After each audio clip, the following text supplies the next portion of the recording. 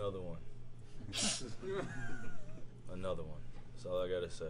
One, two, and three. Another one, and that's what we do, baby. The brotherhood. Have you watched a lot of Zion?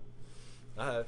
I have, just like everybody else. I mean, social media has a way of just connecting everybody to seeing everyone's highlights and what they're doing in terms of their lives. So, um, you know, I'm just super happy for Coach and the, you know the entire coaching staff over there at Duke, and um, you know, I'm glad that the, the kind of the stigma of us getting top players is, is slowly fading away. So, proud of that. Getting some great recruits. So, you know, I'm happy, and um, you know, it's all up to Coach to kind of develop those guys, and it's just awesome to hear that when Zion was speaking that he spoke on the Duke brotherhood because it's a it's a strong bond that we all have and, and connected for life. So it's awesome. Thank you, Kyrie.